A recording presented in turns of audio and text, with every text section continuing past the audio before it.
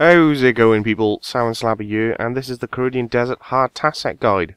Start to finish, let's have at it. Quest requirements. For this you need to have done Dream Mentor, Dealing with Scabaras, Smoking Kills, Do No Evil, Enakhra's Lament, Desert Treasure, Contact, and The Deadliest Catch. Skill wise, you'll be needing 75 Dungeoneering, 70 Magic, 65 Slayer, 61 Thieving, 55 Farming, 55 Cooking, 52 Fletching, and finally 50 Runecraft. So not much. Item wise, you will be requiring seven uh, seven water runes, two death runes, one astral rune, one fire rune, two empty water skins, one dreadnip, one onion, one tomato, one thanky meat, one bowl, one bucket of water, one pot of flour, one full camulet, either a face mask or a full slayer helmet. You'll also want a cactus seed, or at least planted a cactus within Al Kharid that is healthy and fully grown, one light source, one or more feathers, one enchanted water tiara, the Keris dagger, and be on Lunar Magic, which is highly important and will save you quite a lot of time. Recommended items, I'd highly recommend bringing along a Pharaoh Scepter to teleport down to Sophanem. It does save you a little bit of time. And finally, an OSHA Telly, also known as the Emergency Telly, as we will be hitting the KQ. So, to start this, you want to head to the bank in Al Kharid, equip your Camulet, and go ahead and talk to Ali the Camel. Choose the second option on the first, and then tell him you'd love to, and then listen to whichever poem you want, and quickly skip through. Just a little bit of a hint for the rest of it, you will actually end up having to kill a dust devil, so if you have room for food, bring it along. Crush weapon works well, and as we do need to use the Keris later, melee gear would probably be the priority. If you can. Next up, Second task, you need to head to the farming patch in the northeast side of Al Kharid. And make sure your cactus is alive, or this is where you would plant your cactus seed. Once it's fully grown, check the health, and finally pick a spine, and upon picking a spine, you'll have another task complete.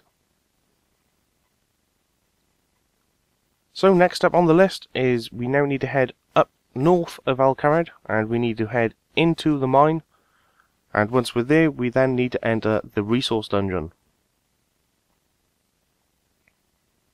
The mine is pretty much directly north of Al Kharid, so you can't really miss it.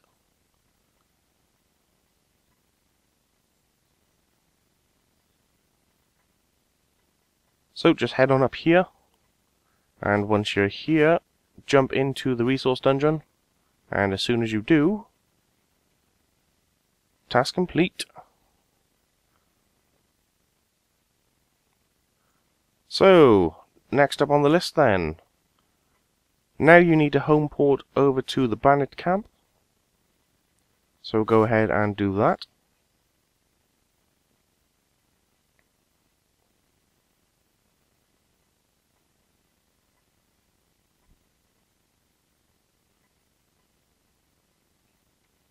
Finally, once you're here, you want to equip your enchanted water tiara, and as soon as you do, you will have another task complete. Next up, you want to head south and follow this canyon towards the west side. Eventually, on your minimap, you'll notice a quest icon appear. Just before that, you will find this little hole right here. You want to head down this secret entrance. And as soon as you do, you'll find a ladder right in front of you. Head on down. Finally, head through the western corridor within this room. At the end of it, you'll find a door. Head on through that.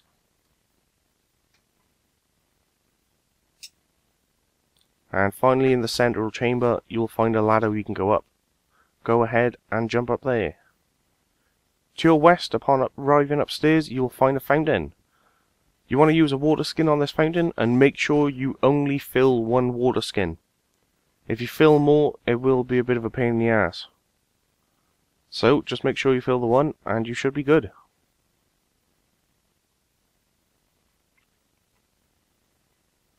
So as soon as you do, that is another task complete. Happy days. So we now need to backtrack a bit, so head down the ladders we just came up from. Head back through the eastern door, and follow the corridor over towards the eastern room. Once you're here, head back up the ladder, and finally climb out through this little sandhill.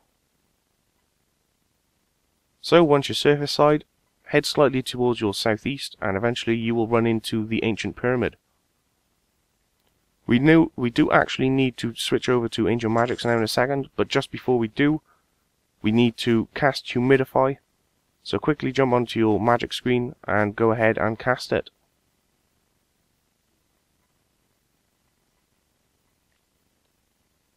Hopefully if you had an empty water skin in your inventory, you will then get task complete. If you don't have the water skin, you will need to go ahead and buy one from the Shanty Pass.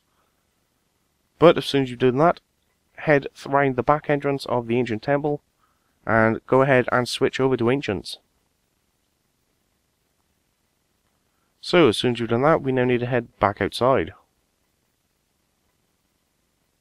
So from the ancient temple, we now need to go almost directly northeast and we're heading into the smoky dungeon.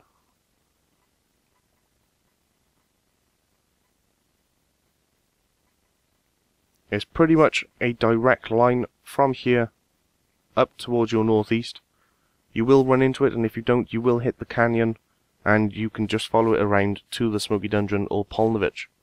If you hit Pollnivneach, you've gone too far.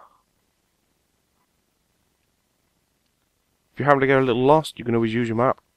It's fairly straightforward.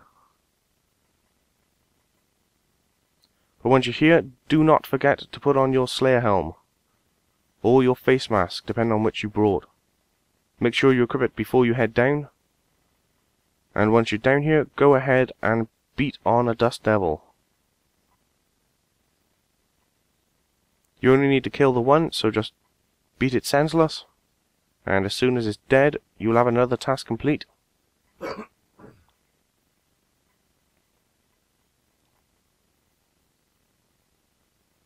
So once we've done that, head back upstairs, and we now need to head over to Pollnivneach. So to get to Pollnivneach from here, you just want to follow the canyon to your south and then to your east, and it will be directly in front of you. So once you're in Pollnivneach, we actually have to go into Sumona's house. Sumona is the Slayer Master of Pollnivneach, so just head on towards the center and you'll see the little icon on your minimap.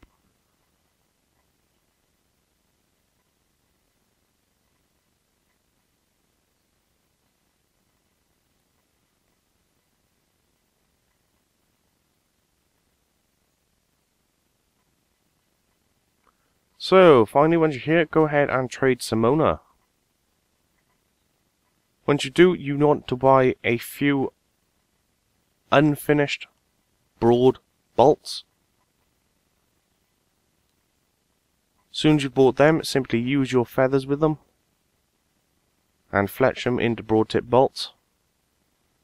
As soon as that is done, you'll have another task complete.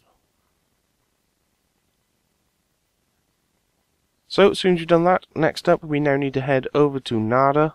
If you happen to bring along your desert amulet, miraculously somehow, then you could always teleport straight to Nardah. If not, then head towards the south side of Pollnivneach and go ahead and catch a magic carpet ride.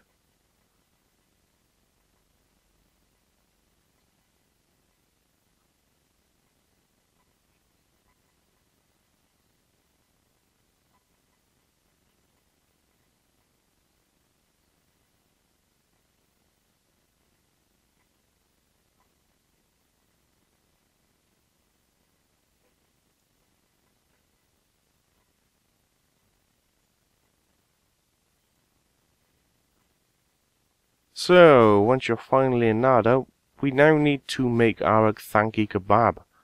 All of this has to be done within Nardah, so make hopefully you brought along all those raw materials I did mention. So, to start off with, you want to use your bucket of water with your pot of flour and make pita dough.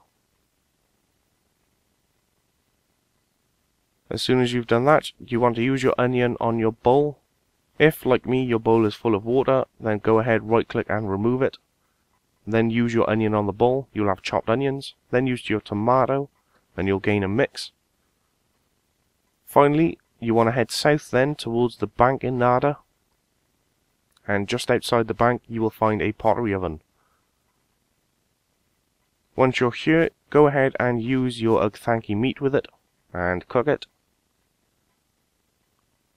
Go ahead and use your Ugthanki meat with the mix, and you'll now make a kebab mix.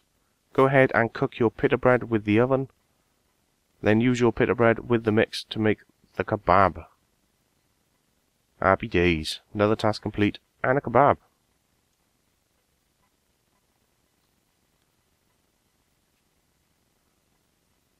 So, finally, once we've done this, we now want to head up to Shanty Pass. So go ahead and catch a Cabbit ride back to Pollnivneach.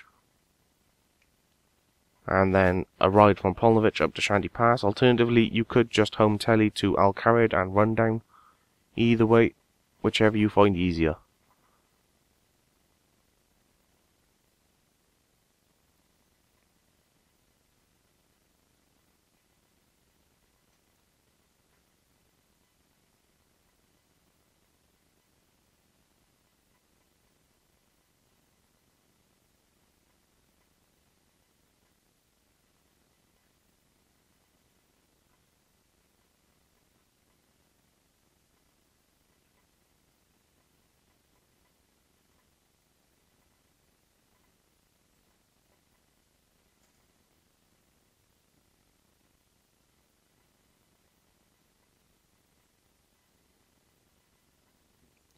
So, once you're back up in Shanty Pass, just around here you will find Ugthanki camels. The idea is we now need to use Ice Burst on any of these camels. It doesn't actually have to hit, just as long as it is cast. Conveniently enough, there is a bank right next to us, so if you happen to mess it up, then you can simply get some more rooms. Easiest way to do this is head to your magic book and make sure you're auto casting Ice Burst. And as soon as you've done that, you'll have the task complete. So at this point, eliminate the camel if you didn't happen to kill it, as it will keep harassing you. As soon as you've done that, we now need to head down into Sophanem. You can either use the magic carpets or your Pharaoh Scepter if you brought it. Personally, I'm using the Pharaoh Scepter, so I'll carry on. Once you're here, head into the Pyramid Plunder, and go ahead and start the minigame. We need to get up to the level 61 floor, and we have to open the sarcophagus within it. So, for the entirety of the rest of it, you can simply ignore it all. If you feel like it, you can actually do a full Pyramid Plunder run, either way. But, for the purposes of this video, I'm just going to quickly sprint through.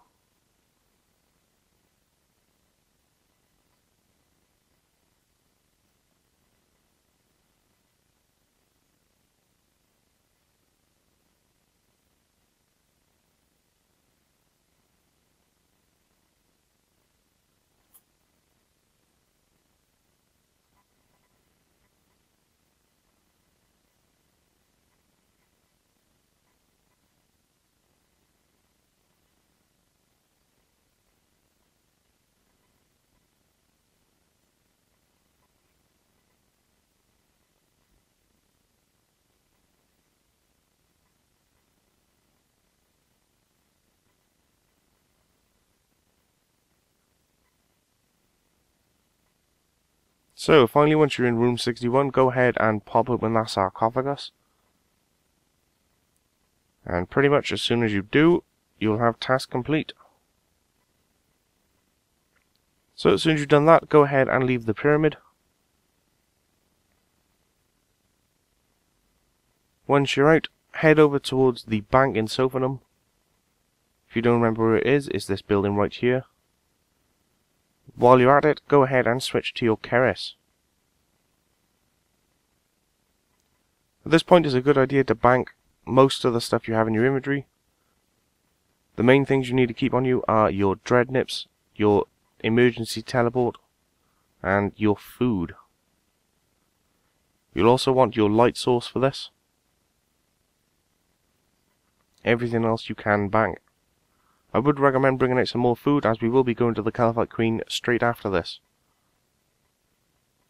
You only have to survive in the Kalphite Queen's room, you don't actually have to kill it, so don't worry. Soon as you got all that, head downstairs again inside Sophanem Bank and run all the way through until you come across the Scarab Mage.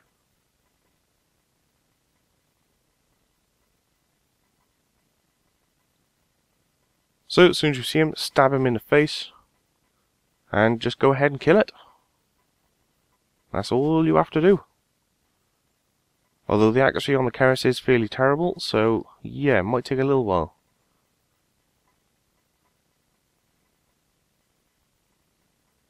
But as soon as it is dead, task complete. Good times.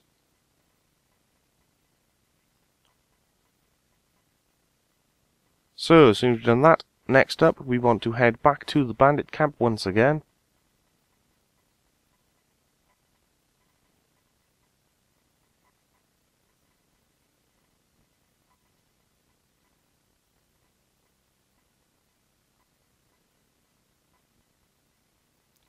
And as soon as you're here, head up to your northwest until you hit the bandit camp. As soon as you hit it, go directly north.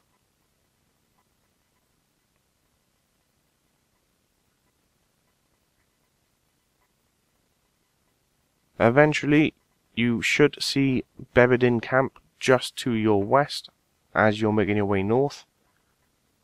You want to head towards the northwest side of this Bedabin camp and there you will find a deposit box. We actually need to use this deposit box, so head on over there and simply deposit one food. Or one random item. Either way. As soon as you've deposited one item, task complete. So, as soon as you've done that, follow the water line all the way to the north, and this will take you up to the Kalphite Queen's lair. So head on around.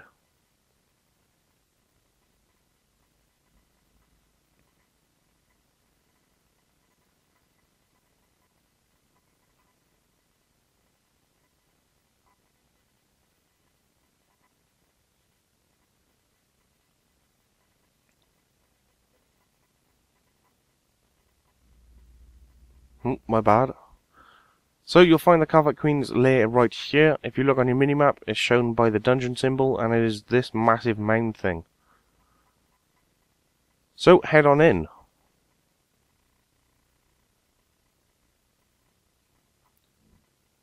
It is a pretty straightforward one-way tunnel here, as there's only really one way to go. So simply run all the way around, and eventually you'll come to a hole you can actually climb down.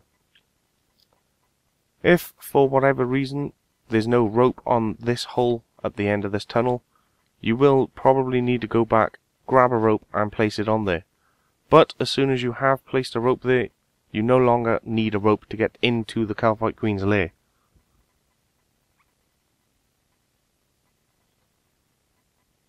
Sorry about that.